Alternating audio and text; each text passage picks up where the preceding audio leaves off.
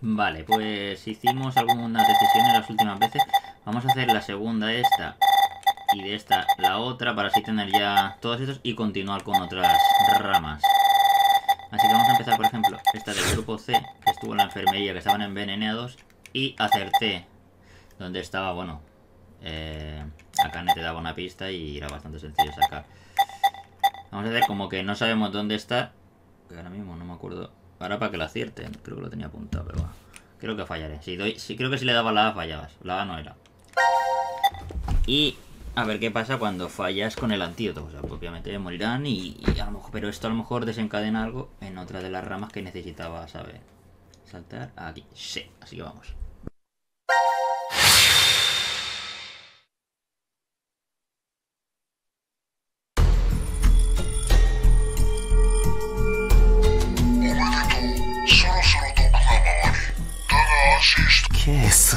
かさ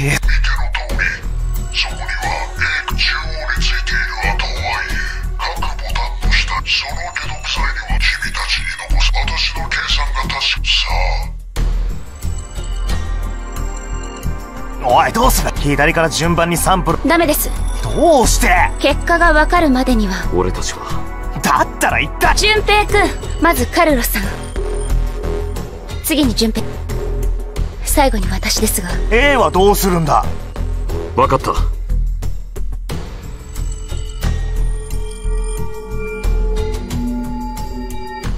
ああこの感じはカルロス俺は当たりを引いたみたいだぞ。お前もか。実は俺も。私もです。舌先にしびれるような感覚が。3人とも全員ってことは。正解は正解はきっと。あかねおいどうした？くそ。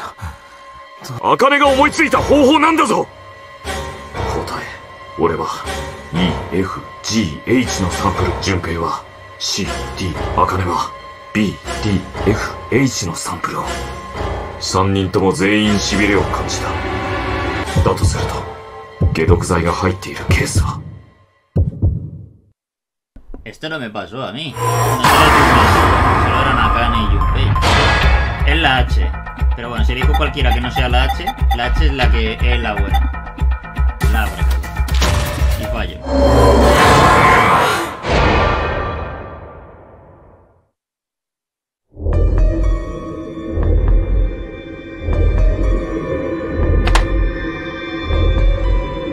どうして6本も。ゼロ解毒剤は 100cc 必要だって言ってた。1本あたり 50cc ってことなんじゃないか。いやこいつはどう見ても 100cc だ。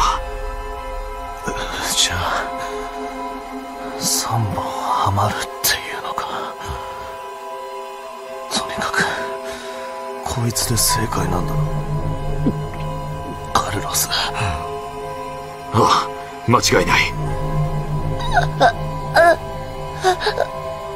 俊平アカネしっかりしろ順平早く茜に薬を分かってる俺たちもよし飲むぞ。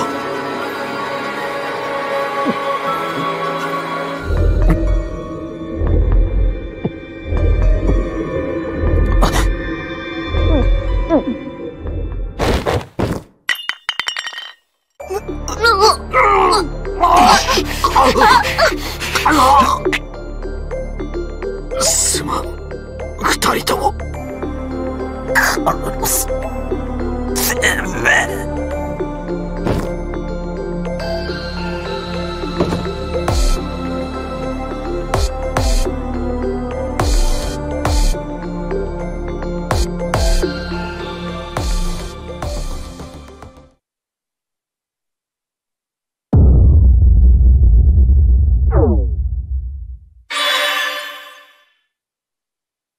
Vale, hemos hecho todas las posibilidades de la sección de Poison.